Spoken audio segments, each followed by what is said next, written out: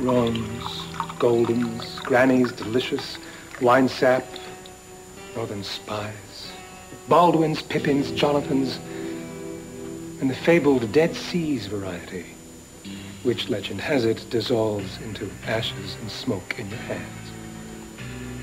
For love of a lowly apple, Adam lost paradise, by all accounts a sort of perfect landlocked Hawaii, run not by Jack Lord, but the Lord, taking with him only the knowledge of good and evil, which clung to his unhappy children like a permanent, Dad went to paradise and all I got was this lousy T-shirt souvenir. You'd like to dismiss me as a staggering drunk.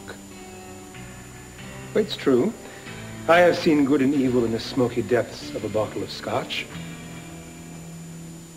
But tonight, it's the amber juice of the apple that guides me. A, a near relative, don't you think? Almost twins. Your health, Dad.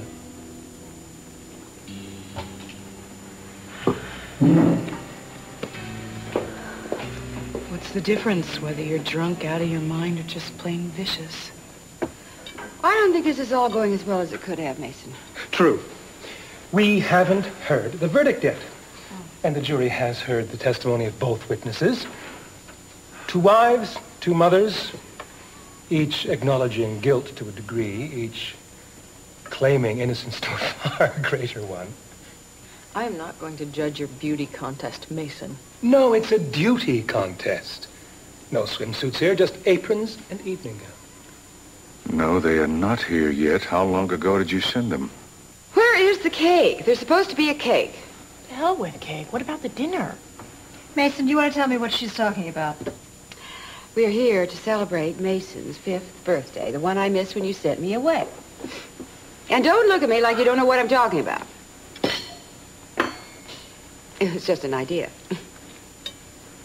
I have so much to make up for, to Mason, to all of you. And after he blew out the candles and made his wish, then I was going to tell C.C., well, I had a lot of things to say, some apologies, things. And I was going to tell C.C. that in spite of everything, I still loved him. Cut off her tentacles and she grows new ones. Well, in the right way, of course. The only way an ex-wife can. And then I would prove it to him by telling him about Cassandra. You don't know me. What about her, Mother? Well, you know, she's a spy. Pay no attention to her, Cassie. She's on one of her lunar flights. You can all go to hell if you're not there already. See? See that? I mean, she's really lovely, no doubt. But, as you always say, you can't trust a Lockridge. You Can't trust a Lockridge. You Can't trust a Lockridge.